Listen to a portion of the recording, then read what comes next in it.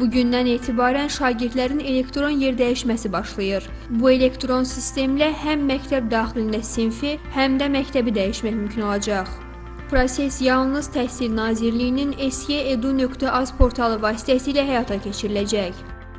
E, Prosesdən keçmək üçün ilk öncə e, şagird yerdəyişməsi üzrə Təhsil Nazirliyinin e, hazırladığı şagird yerdəyişməsi, yəni syi.edu.az platformasından mütləq şəkildə qeyddən keçmək lazımdır. Daha sonra müvafiq olaraq müraciət olunur və əgər müraciət müsbət təsdiqlənsə, namizədlər lazım olan sənədləri həmin yeni məktəbə təqdim etməklə öz təhsillərinə davam edə bilərlər. Portalın fəaliyyəti sentyabrın 12-dən dayandırılmışdı. Buna da əsas səbəb pandemiyaya görə dərslərin gec başlaması idi.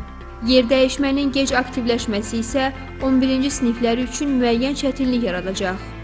Pandemiyadan əvvəlki dövrdə oktyabr ayında proses həyata keçirildi, lakin e, dərslərin gec başlaması ilə əlaqədar olaraq e, məktəblərin yerdəyişməsi də təbii ki, e, uzun müddət çəkdi.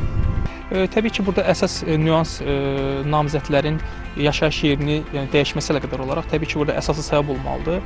Yəni valideynlər e, işi ilə əlaqədar olaraq və ya başqa bir səbəbdən e, iş yerlərini dəyişirlərsə, yəni yaşayış yerləri e, dəyişirlərsə və bunu təsdiq edən sənədləri təqdim etməklə təbii ki, onların yerdəyişməsinə icazə verilir. Şagirdlərin elektron yerdəyişməsinə tədris ilinin başlaması, həmçinin siniflərin komplektləşdirilməsi ilə əlaqədar hər il müvəqqəti fasilə verilir. Nilufər Səlim, Ramil Qoca, Telesəhər.